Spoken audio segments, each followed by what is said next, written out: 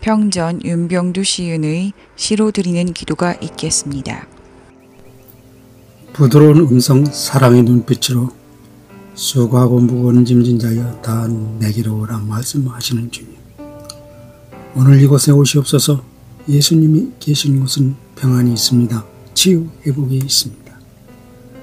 가보나움의 어떤 집 병든 자를 돕고 싶은 네 명의 친구들 간절한 마음 사랑하는 마음과 믿음이 난관에도 굴하지 않고 예수님 앞에 이르게 하니 그들의 믿음을 보시고 죄부터 사해 주셨고 그리고 내 짐승을 가지고 가라 하셨습니다.